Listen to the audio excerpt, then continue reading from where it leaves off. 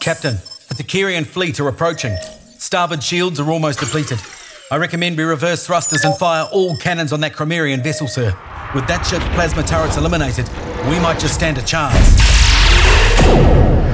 Come on now, get up, ride! Blow it, Jensen! Blow the damn tracks! There we go! now get on that wagon and hustle them passengers up. We got us a train to rob! Woohoo! Good day to you, sir. Do you wish to buy or trade?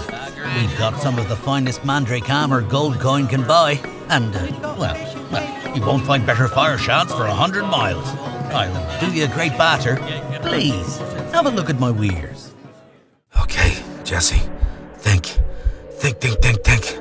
Uh, uh, the book. I must have. The book. I've got to remember. Captain!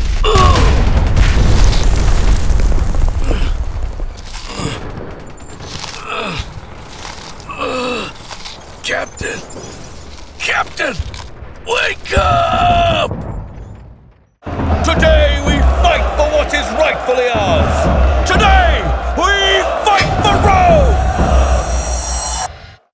Oh, I'm growing tired of all this slop these warlords keep serving up. How are we supposed to take on an army of draghammers on this filthy diet? Uh, we should just piss off back to our damn caves. At least the grimworms are sweet.